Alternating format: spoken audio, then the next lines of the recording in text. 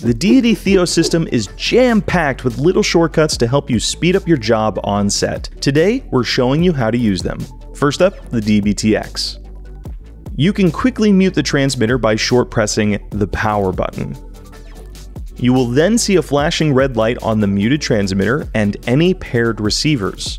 The D2RX's home screen will also display a mute icon next to any of its paired transmitters that have been muted. To access the recorder, long press the up button from the home screen.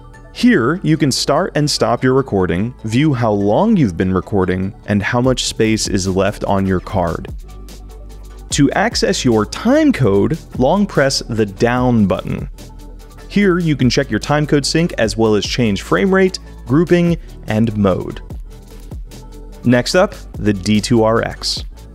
As a dual channel receiver, each of its two receivers can have their levels controlled independently. To adjust the level settings of RX1, long press up. Back in the top menu, you can access the level settings of RX2 by long pressing down. When your B output is set to monitor mode on the receiver, such as for an IFB system, you can control the headphone volume by short pressing the up and down keys. That's all the shortcuts we have for now. Hopefully these save you time on set. Happy shooting.